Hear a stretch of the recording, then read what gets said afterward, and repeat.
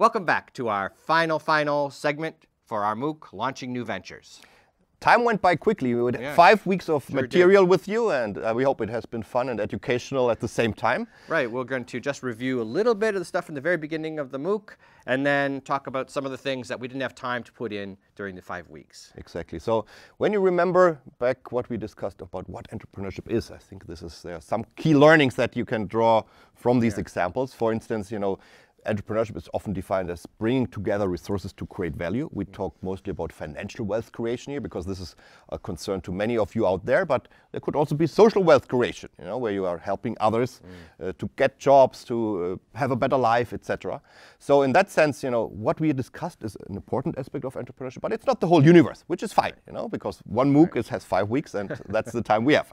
Um, this said, you know, remember also, you know, and entrepreneurship might sound like a hip and cool concept, which we think it is, but it has some some ancient roots. You know, it, in the 18th century, uh, an Englishman called Cantillon, he observed the some person that Chris will talk about in a second, and used the word entrepreneur. He coined this term to define entrepreneurship in that sense. Right. So if you think about the the Marco Polo example from the very first uh, segment, you know, he was a merchant adventurer. He went off. He thought there may be a spice route, but he wasn't really sure if he was going to be able to make any money. He undertook a lot of risk. He went out on a limb. He got someone else to finance him. He went and he was able to return and make a profitable venture in the end. Exactly, and Cantillon observed people like this, you know. Right. So in a way, this this idea of going boldly where no man or woman has gone before, you know. So in that sense, uh, keep that spirit of an adventurer also, and enjoy your entrepreneurial journey.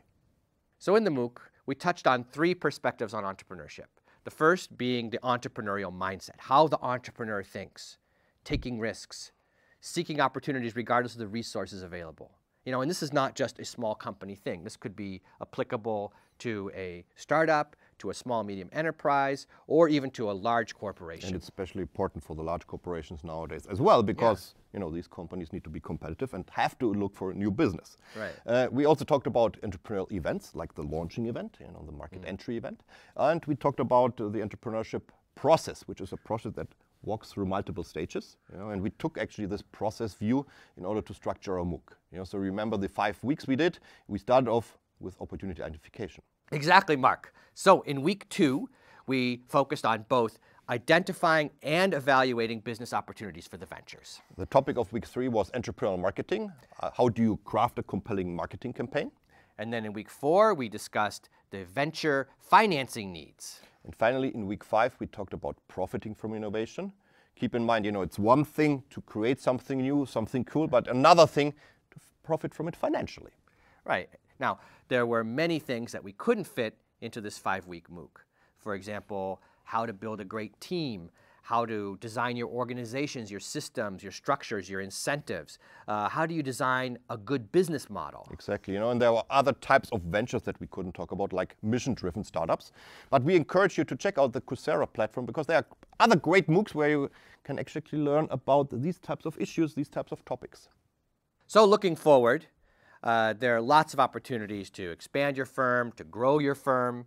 Uh, if you think about the financing angle on this, uh, of course, we focused a lot last week on the you know, early stage seed funding and some of the intermediate. But there might be other ways. You know, you, Yeah. there- once you grow your firm, expand your firm, you can cop, uh, could uh, do an IPO, which is an initial public offering. You go bring your company to the stock market, and that gives you additional funds to grow your company even further, to do international market entries, etc., etc. Right. So if that happens to you, then of course, you know, don't forget the little people. Exactly. We could even label our little uh, building here in Lausanne after your with your name. so we can understand that you're now fully excited about growing your venture, expanding your venture, but don't forget there are also some assignments that you still need to do in order to complete this course. So if you look at this slide here, it'll give you some information about what you should be thinking about in the near future. So this might be the very final session of the MOOC, but we want to be in touch with you and want you to keep in touch with us. So we've prepared a couple of options of how you can link up with us. Right. So uh, what we have set up is a Facebook group, which many of you or most of you are already involved in. Uh, so you can stay on there. You can tweet us, of course, and we will set up a LinkedIn group for the alumni of this course, for anyone who finishes the course, so that you can keep touch with each other and with us. So thanks again for joining us in this MOOC. It has been an entrepreneurial journey for you and also for us. Yeah, we hope you've enjoyed it as much as we have.